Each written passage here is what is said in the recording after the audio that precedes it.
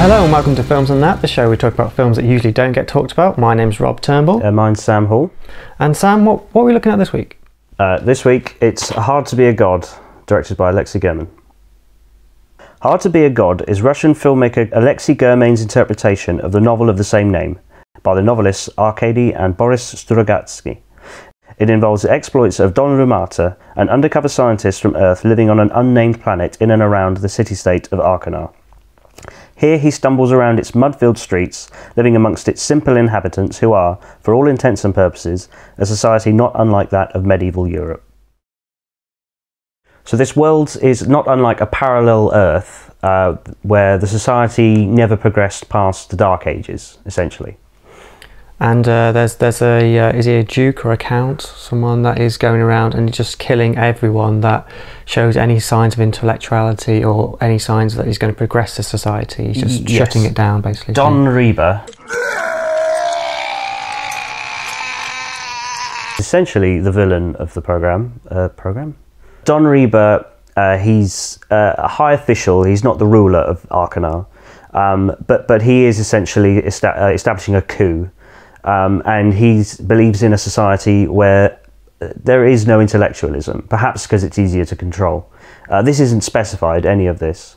But um, we kind of get the sense, really, that this is a society that's been in decline for quite a long time. Intellectualism seems to have been dead for quite a while anyway. There's elderly people um, sort of stumbling around who can barely string a sentence together. So the protagonist of the film is Don Rumata. He is a scientist from Earth that has been sent there to progress the society past the Dark Ages and bring around a renaissance. And he goes about doing that by uh, rescuing intellectuals. Is that what he Yeah. Uh, yeah, anyone, well, essentially anyone who's been persecuted by the villainous Don Reba. The conflict between them is what the film revolves around in terms of plot. Um, but then again, you could interpret this film as not having a plot. That I don't think that's true, but certainly from a first viewing, you know, I, it's almost it, it would appear to be something almost plotless, just a a ghost train ride through a kind of land of horror. The visuals are the most interesting point of the film. The mise en scène is great, the cinematography is great, the costumes, just everything's so muddy, everything's so wet. Yeah, th- th- they've taken a long time to create a society that hasn't um, taken a long time to make, you know. And it's it's mainly violent, loveless, ugly, very ugly. There's a lot of crap on people's faces, did you notice? Yes, um, yeah. Just about everyone I think who's seen the film and reviewed it has referenced Monty Python's Holy Grail and a famous line. They say, "Who's that?" Oh, it's a king. How do you know that? Well, he's the only one who's not got shit all over him. You know. but in this, even the kings have shit on them. Everyone has everyone has shit on He, them. he puts it on himself though, it's like everyone else has just got mud on their faces for whatever reason, but he's just happy to slap it on Again, himself. yeah. Either he's been there so long, he's become accustomed to it, and he's you know, or he just know he's just trying to join in. I think he's just gone mad and he's just that's just his way of life he now. would go mad, I think, living among among this, in this society.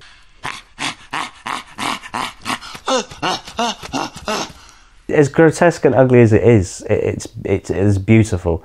I would like to talk about uh, that. There's a, a famous Russian literary critic called Mikhail Bakhtin. The particular thing he talked about was the grotesque. That is the idea of spitting and vomiting and sneezing and shitting.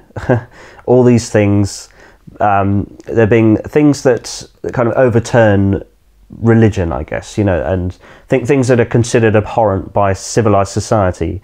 Um, civilized in Bakhtin's interpretation, I guess, being the bourgeoisie, uh, you know, the upper classes. And so, in that respect, these things, uh, they're almost rebellious in their nature. They're almost like th- th- they're a display of rebellion and, and the rising of the working classes, if you want to take that interpretation. And I think to a certain extent, that's kind of one of the things that this film appeals to me, eh, perhaps, is that um, almost that, that kind of ugliness to me liberating in a way. So this film is a hard sell because to describe it is to describe something very visually unpleasant. Um, but I suppose in a way it's it's like a freak show, I guess. Um, you know, which it, which it in itself is something unpleasant and exploitative. Um, but that is that's a good way to describe it. I think it, it's like we're exploiting the lives of people that don't exist. There's a few people with sort of uh, deformity makeup. I tell you what, yeah, actually, uh, perhaps this is a good time to move on to the more technical aspects. Um, and imagine just the the hours put into the makeup, for example, and the mise en scène. Every shot has been thought out like extensively. I feel. Yeah, The camera is shot mainly in very close-ups, so you just kind of looking at very small bits and slowly other weird and weirder things get uncovered to you. there are moments when you sort of think, "What's that doing there?" You know, but that but that's that's part of the, the, the appeal, I guess, is is that you're it it forces you to look around Yeah. um, and see things and notice things in the background. Did you did you notice a little T Rex on his shoulder at one point? Oh no, I, I don't remember this, but I've, I've I think I read that. It's Um, like he's got um, the main character's wearing some armor, and he's got like a, just a little T Rex on his on his shoulder. Which, what? Why? Why, why would that be there? Well, uh, the, the other thing, his, his his arm is very decorative as well. I like his his glove. He's got like a clawed glove. Yeah, that's like his um, His signature thing, isn't it? Yeah. What about perhaps the more because we talked a lot about the disgusting aspects that are almost comedic, but what about uh, again talking about the mise en scène, uh, some of the the really unpleasant stuff. Some of the violent stuff. Yeah, some of it does go pretty far. Yeah, there's a, there's a really great moment when someone's been like strung up on their they're on like the side and their all their intestines just fall out or something. Yeah, And it's it's really gross, but it's really well done. I feel like it's just It- and he's just poking at it as well. well, it, you don't expect it to be there, and it, it's not like it majorly in frame to begin with, and it's just like oh, he just stumbles across it. Oh, there's this thing, but it must have taken so much effort to put that there, and that must have been the major bit in that scene they were filming. But it's kind of not throwaway, but it's just like pushed to the sidelines, like you're just uncovering all these little bits. You know, like we were talking about Werckmeister Harmonies, how the camera lingers before and after the action takes place. This does kind of the opposite. Mm. You know, the action takes place and then the camera just kind of stumbles across it, and then the action goes off over there, but the camera's looking here still. Mm. No, it's like you just catch the middle part of the action, like a like a documentary would Yes, almost. that's yeah. You should say that. I have said it. Have you? Yeah, just now. Oh, okay. Yeah, I thought you switched it off. I thought you'd switched it off. No, it's Well, recorded. we, yeah, I know, but we were just having a chat. That's fiendish. There are times when you wish you could control the camera, essentially, because because you, you do feel like you're missing things sometimes, um, and that, and that's part of the Well, you're like a bystander, Aspect. aren't you? Yeah. You kind of go, oh, there was a big war and everyone died over there, but you weren't there, so you didn't see it. yeah, you still see things, but um, you know, perhaps yeah, in a disaster, do you do you see everything unfolding before your eyes? No, you don't. you, you hear a you hear an axe, you hear an explosion or something, and then you run over and you look at it. Yeah. You know, and that's that's part of what the the, the feeling this film gives. You know, and and sometimes you're just seeing someone do something and you're not sure why they're doing it or what they're doing. You're left to interpret it yourself. I think that's the, the big point yeah, of it. Yeah. such as such as Don Rumata when he's trying to convince himself not to attack people. He does this thing where he puts on a, a, a sort of bull-like helmet and sits in on all fours in like this position as if he's sort of ready to charge. You know, which is presumably the interpretation. But but then you're sat there going, "What's he doing?" You know, he just looks like he's mulling around. It's about stumbling upon something without without nothing's explained to you in black and white, Even though it is black even though it is black and white.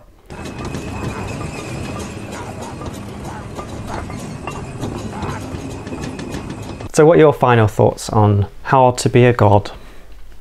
Um, I think this was always intended to be a filmic interpretation and an experience. I, I don't think it was ever intended to be a, a, a entirely true to the original novel. It's, it's it's not meant to be the Bible. It's not meant to be you know an entire story that, that, that teaches you about life and everything.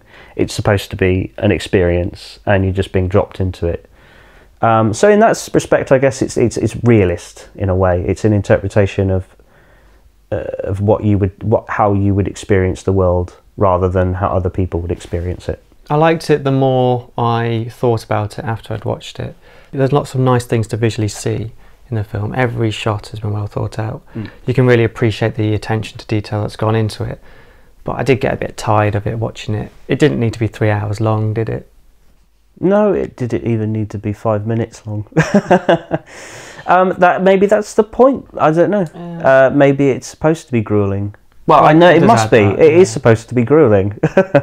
you know, um, but if you can get through it, then hooray! You know, you've you've walked the the fire walk. Obviously, nothing happens when you watch a film. You just watch it. But I felt so dirty after the last time I watched it. I needed to have a wash. Did you actually? Actually, yeah. That's how it, it made me feel so dirty after watching it. That's such a cliche. It is, but it's true.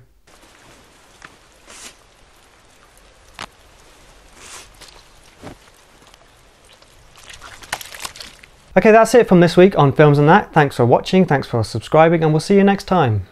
Like and subscribe. you can cut that out if you want.